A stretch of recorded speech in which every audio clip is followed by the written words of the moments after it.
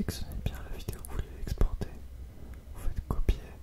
Là, vous faites OK, vous en foutez. Attendez que ça charge.